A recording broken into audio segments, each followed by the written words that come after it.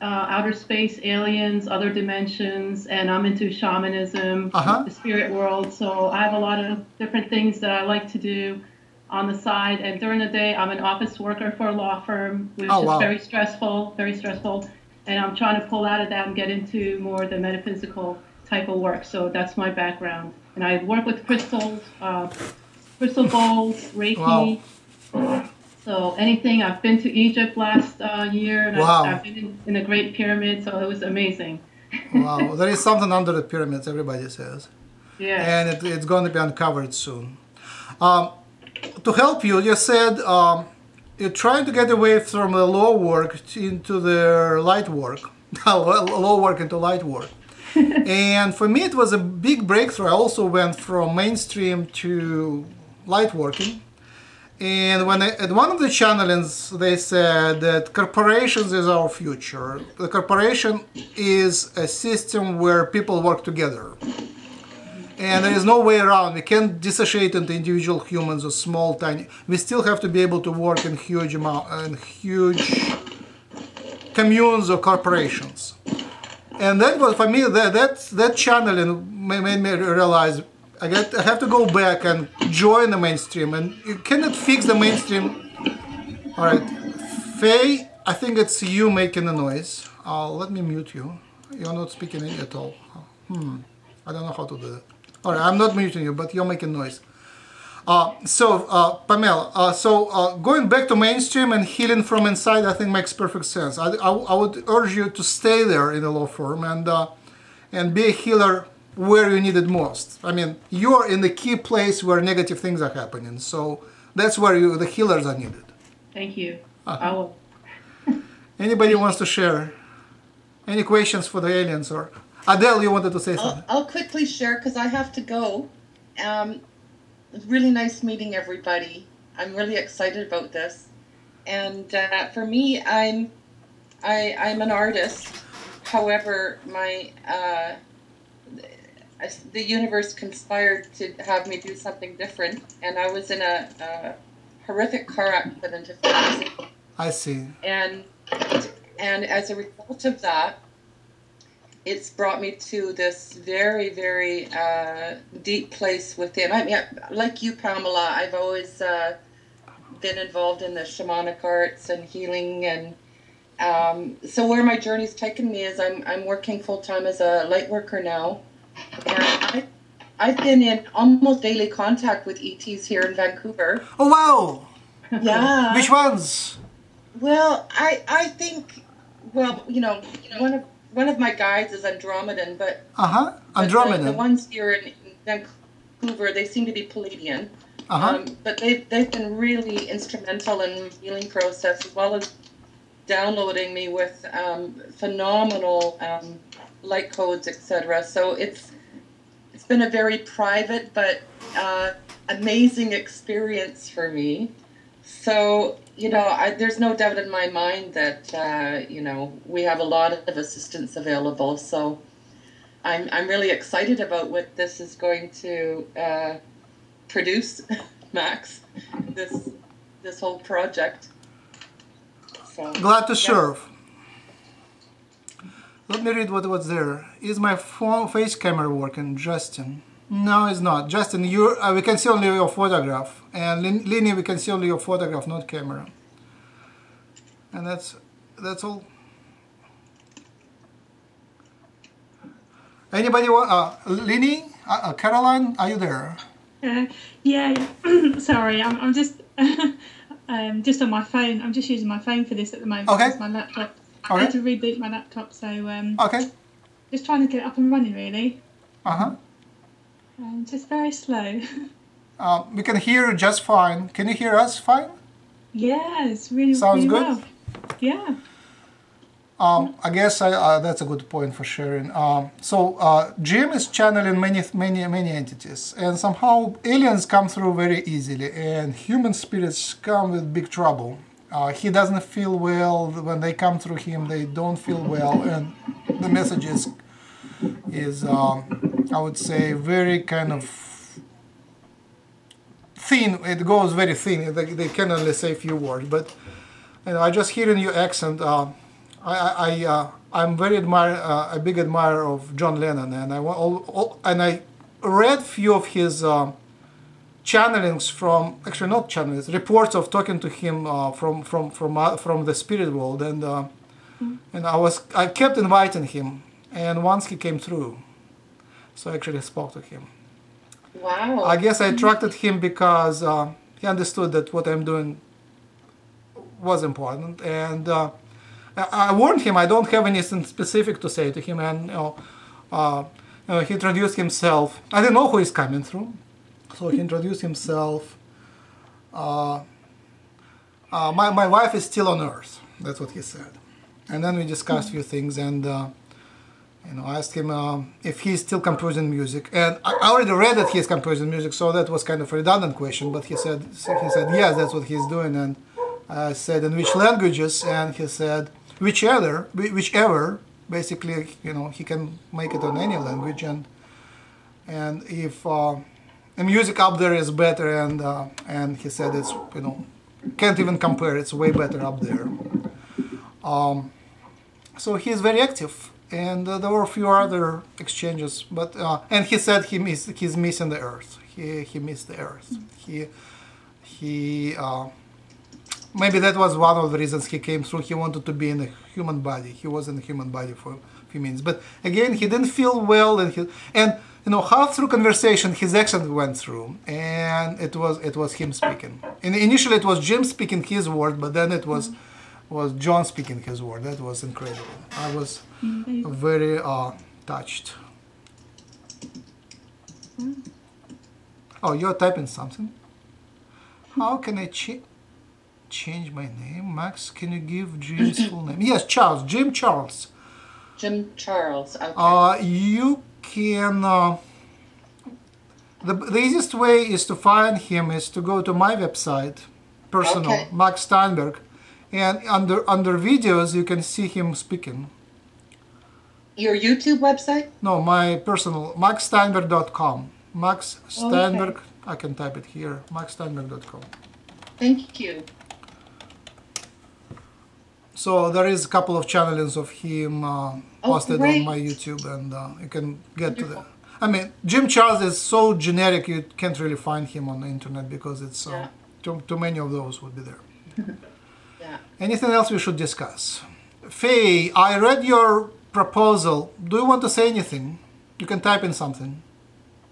What time is now in, in your place? Faye is from Malaysia.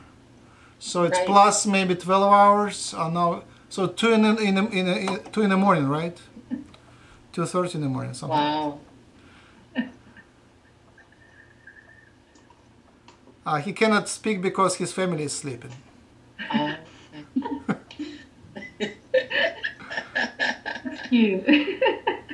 Yeah, I, I, I was thinking how, how I can accommodate you to. Like, how could you move uh, one hour early next time? But, but you know, uh, most of my uh, people, what most of us are located in the United States, and Californians.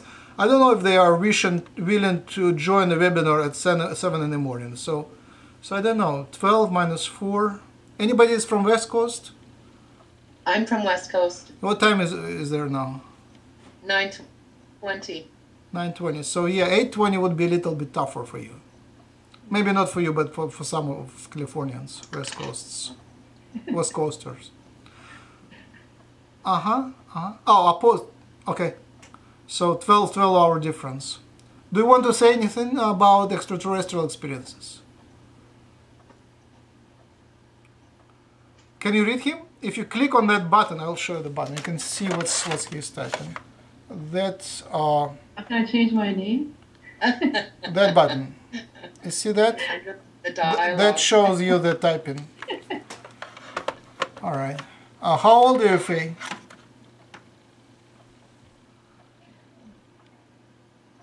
Oh, not that young. All right. Uh, Justin, do you want to share anything about your extraterrestrial experiences? Justin is also typing.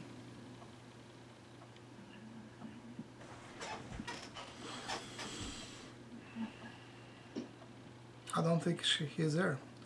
Um, I had a question to Pam and Adele. Um, uh, how you share something about your um, shamanism. Uh, I, I I have been to one of the Indian ceremonies, and it was a drum circle with uh, uh, thanks to how many? One, two, three, four, five, six to seven directions, uh, where the seventh is spiritual. Do you want to share something? Me? Pam and uh, Adele, I don't know, either one of you. You're both gonna- in. I have to go. I would love to share, but I have to go. Okay. I've got somebody arriving. All right. Uh, next time, if you Yeah, want yourself or- to be more visible, uh, try to set up the light so it faces a little bit more. Your face is a little more lit Okay. because you look like a ghost, a little bit bluish. oh, really? Yeah. Uh, you can also go to the dark and rainy here today. That's probably why. uh, camera settings and you can uh, make yourself more natural color. But you know, it doesn't really matter. okay. All right. But- Bye, everybody. Bye. Thank you. Nice, Bye. nice, nice for joining. See, see you tomorrow. I've been I've been to seminars where um, where the shaman there actually honored every direction. So the east they started I think with the east, went south, west, and north, and they Yeah. have different meanings. But I don't recall exactly what the meanings are. It's like a long proverb for Uh-huh. each one. I just know inside myself to honor every direction, and then of Yes. course the heaven, and then the planet Earth. So they try to do that to open the ceremony, to open the circle for the positive energies. So, and another thing I like to share is about myself is that I don't feel like I'm a human being. I feel like from I've never felt at home on this planet. I don't own a home. I move around a lot. I rent a lot of apartments, and no matter where I'm at, you know, that's my temporary home. I feel like from either Pleiadians or another star system in this body, that I'm stuck in this body. So I feel like I'm in prison. and I'm trying to get out. Um, which, which is an odd feeling a lot of times. So I don't know how to work around that one. Uh, yes, we all have past lives in other star systems. It's everybody. Uh, the Earth experience is quite new, so everybody have been ha, have been somewhere before, and we will be somewhere in the future. So we're linked to extraterrestrial lives in the past and in the future. Um, but you're a human, that's for sure. If you speak to us, you're and you look human in many ways. So uh, you know, it looks like um, all of us we had to go through some sort of um, uh, application and competition just to get the, the right to be on Earth at that time. There was a lot of uh, spirits who wanted to be here, and to, to be here and re- reasonably successful in this life, it means that uh, nobody can come here and be this, as comfortable in this life now without the past lives in, on earth. So if, if you are successful in this life, if you survive to this age, it means you had at least 10 or 20 or 30 past lives on earth. So you're not, you're certainly from, from elsewhere and you certainly had, had experiences here as well. It's, it's just given because if the person, I, I know a few people who are first time here and they're all autists. They can't really function fully. They are desperate. Uh, it's really hard to be the first time. If you're an alien and you're first time on Earth, especially the Greys. Pleiadians are more fit. They they're, they're more fit here, but the Greys are they they were really miserable here. It's so different and uh, it's so lonely for all of them. For the extraterrestrials to be here for the first incarnation, they're so lonely. Uh, you can't even imagine. They're kind of um, autistic just because they feel lonely. They can't really connect. And the, the people who already have done incarnations here, they um, they are much well fit. So so all of us are. If we can speak here, we we have been here before. And genetically, so there is a, a spiritual. We're talking about spiritual, and genetically, uh, we are hybrids from the past. We are a hybrid species. Everybody has Pleiadian, Gray, Reptilian, uh, Okay. Anunnaki, uh, Orion, and a couple more. Sirian, Sirius. I don't know. Yes, I heard Sirius. Yes, uh, sure, certainly. Sirius, especially uh, the Africans have Sirians. Yes, and the, the next one is what? Dracos, Draconians. I don't think draconians are are, are they Greys, the reptilians? uh, draconians are dra- dragons. They have uh, they are reptiles with wings. Yeah. Uh, I, I uh, Lakesh, my another contact, uh, which we are talking. Lakesh provided most of information. He says there is no dra- draconians uh, physical at this time. They kind of went uh, to non-physical at the moment. Wow. So in the past they have been, in at least in our timeline realities, they have been somewhere present, but uh, they're not there.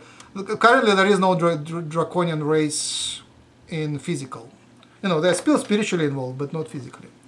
So, so yes, we have that ancient, and apparently Pleiadians kept uh, coming and mingling with, with humans. So, so there are more recent, uh, last century, six centuries ago, there are more recent infusions of Pleiadians, and some of the humans have higher percentage of Pleiadian, which, you know, just taller and uh, some other features. Um, so yeah, that's a nice question. You know, I, I that's what I always ask, and uh, I get confirmation answers. I didn't know I'm Pleiadian, so I, I kind of I was thinking because when I dream, I, I dream about grays gliding, or actually gliding like a gray. So they can float, and I was thinking I had gray DNA, but uh, apparently they said I have no gray, and I have a bit of uh, ple- a recent Pleiadian. Again, it's not from my father. It's from from down the line, like in uh, 18th century Pleiadian infusion. So that's very interesting. So uh, asking them about that every time I ask, you know, first question I ask, I apply to go up there. Second question I ask, uh, do I have children up there? Third question I ask is, uh, what is my ancient and recent infusions of alien DNA? I think that these are main question to ask. Main questions I, I, I like to hear from them. And, and the more I ask, the more I investigate that, the more uh, interested it becomes. Great. Thank you. Anybody wants to share? Oh, here's I feel different. Okay, Fiona wrote, I feel very different with US people. You guys are just very able to talk compared to Asians. I'm an Asian. I'm from uh, just borderline in Russia between Asian and uh, Europe, so I'm right in between. My one leg is Asian.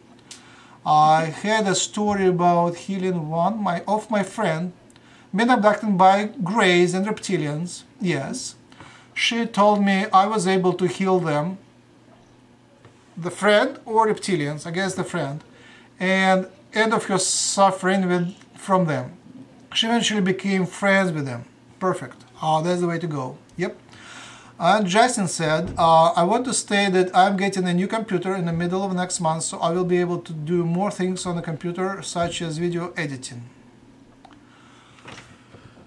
Uh, Good. Uh, Justin, video editing now is easiest to do within YouTube. You first upload to YouTube and they have perfect editor which can do everything. So it's easy, easy now. You don't need any sophisticated software. You can truncate, you can adjust colors, you can uh, overlay sound. So it's um, you don't need much more. So Fiyun says, okay. Um, so about greys and reptilians, uh, so my main breakthrough was, which I found only two days ago. It's not recorded because it was a conversation. I, I, I couldn't record it. Uh, I, it wasn't appropriate to record it. So uh, my uh, so my question was whether the the Girk Fitneer, whether they are involved or were involved in hybridization program, and apparently they, they, they were. That's what they did until they started the project with the colonies. They were doing the hybridization program, which was started by the Greys, but then uh, joined and took over part of that. And they say the Greys did about 8% of that project, a hu- recent human hybridization project with the Greys and others.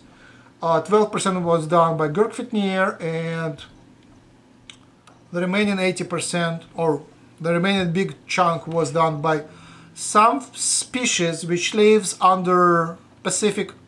I forgot which ocean. I think they said Pacific Ocean. Uh, Pacific Ocean, and they couldn't tell, could, weren't allowed to share which species was that. And I think I asked if they were agarthans, and they said and they, I don't think they, they answered that, but they I said, is a species humanoid? And they said no. So there is some species living under ocean and not humanoid. But you know, their definition of humanoid is different, meaning not close to us. So anybody who looks like human but not close to us, for them is not humanoid. So it could be like Antoids or some other humanoid-looking creatures, which which they don't call humanoid. But but that was very new to me. So I was assuming most of this was done by Greys. And when I, I know one abductee who is sharing a lot of information, and she says she has she is an older lady, and he was she was through the hybridization program for many years, like 40 or 50 years. When she was a young person, actually I have interview on on YouTube of her. When she was a young person, um, she agreed to volunteer for that hybridization program, and uh, she always she comes to the ship. She is allowed to retain her memories, and she sees hum, mostly humanoids there. And sometimes she's taken to places like bases where human military mingled with other military and reptilians, and uh, and reptilians. So I assume that humanoids are doing the hybridization program, but now the the recent news that most chunk of that was done by non-humanoid species. So I'm very uh, interested to find out more. Uh, and speaking about their uh, about the hybridization program, yes, they uh, they started quite negatively because they couldn't relate to us emotionally. But as this developed, they are became much more enlightened, and our gods spoke to their gods and angels and uh, consciousnesses and convinced them to become much more advanced in the way they do that. So right now they say the hybridization program is is only continues only uh, for supporting uh, past abductees just to keep them alive and keep them uh, healthy. They don't do hybridization per se. They already grabbed enough of uh, human DNA to do hybridization and uh, they don't bother human humans to, to get more abductees. They already have enough hybrids which already work on themselves, improving their own genetics. And good hybrid, who we know about, we're speaking to Bashar, who is a Sassani, another hybrid race, and Yahyel is another hybrid race. Both are results of hybridization program, and both are thankful to us and try to help us because uh, we are their ancestors and uh, our abductees donated their DNA to their creation of their races. And each of them has their own planet, which uh, Bashar's planet is called E Sasani, E Sasani. It's located in the direction of Sirius, but is not uh, in our uh, timeline, not, not in our reality. Uh, so we don't know their star. And Yahyel doesn't disclose their planet.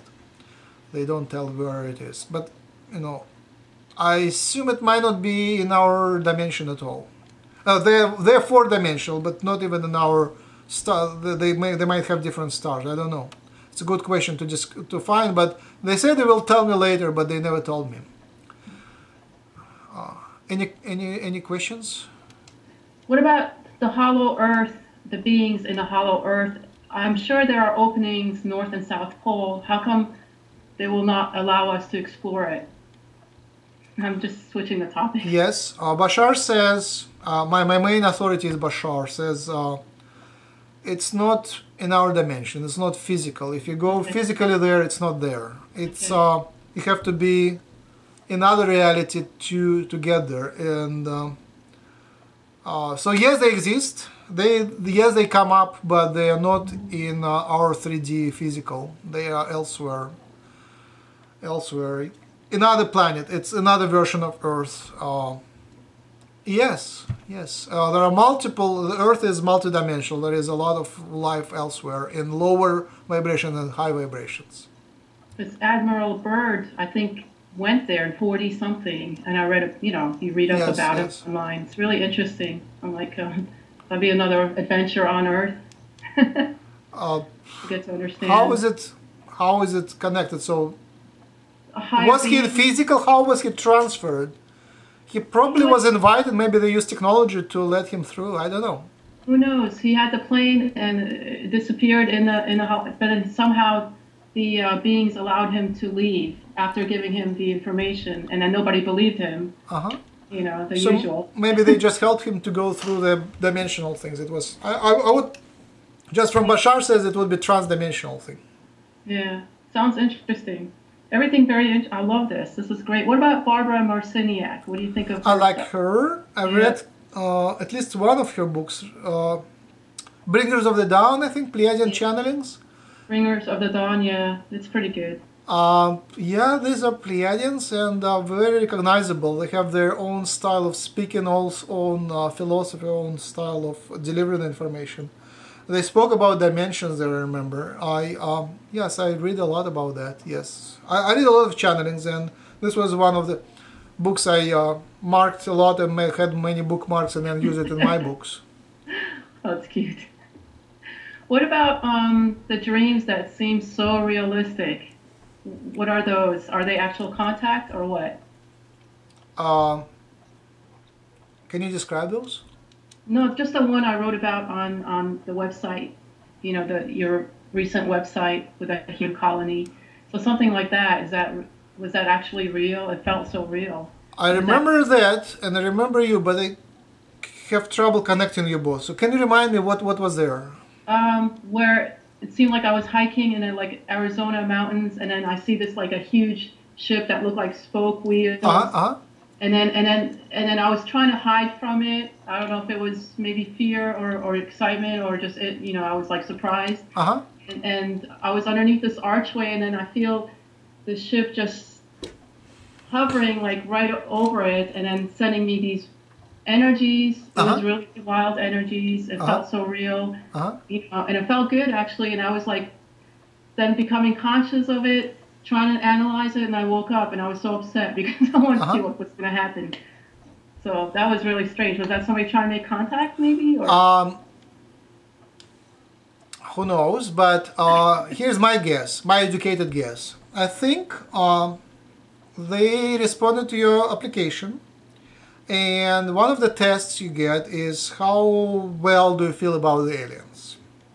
And they give you something very prototypical. They either give you an image of an alien or a ship, and see how you react to that.